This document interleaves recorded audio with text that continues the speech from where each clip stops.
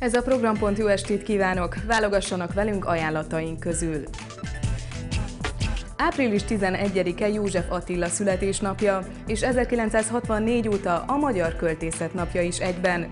Szerdán délelőtt 11 órától a Lilafüredi függőkertben az Óda táblájánál a Költészet teraszán ünnepelnek a miskolciak. Ünnepi beszédet hallhatnak majd Zsille Gábor József Attila díjas költő műfordítótól, az Ódát pedig az Országos Arany János szavalóverseny győztese, az Rényi Ilona gimnázium diákja Tóth Norbert szavalja el. A Filharmónia Magyarország közel hozza a zenét. Április 11-én szerdán este 6 órától újra belvárosi zenei estéket tartanak a Zenepalotában. Ezúttal romantikus ösvényre kalauzolja el hallgatóságát Kis Virág zongorán, Kulcsár István gitáron, Bárány Zoltán klarinéton és Dezső Sándor gordonkán. Az est folyamán Brahms, Chopin és Dezső Sándor művei hangzanak el. Hang Ár címmel különleges programot kínál a Miskolci Szimfonikus Zenekar és az Egresi Erkel Zeneiskola.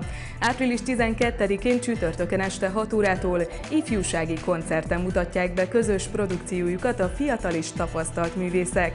Az est azért különleges, mert a gyerekek megtapasztalják a nagy zenekarral való együttműködést, a művészeti munka szépségeit és nehézségeit, illetve a kulisszák mögé is bepillantást nyernek.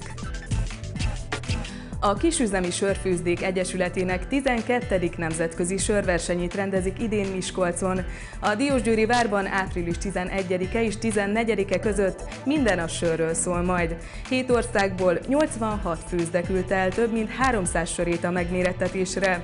A szerdától szombatig tartó program első két napja a szakmájé. Ekkor neves zsűri értékeli majd a söröket. Pénteken és szombaton pedig izgalmas sörtörténeti kalandozások, tárlatvezetések, és sörmustra vár a közönségre. 35 hazai kisüzemi sörfőzde mutatja be söreit, a standokon pedig sörfőzők csapolnak majd. Programokért nézzenek minket a szerda esti híradó után is. Köszönöm a figyelmet, viszontlátásra!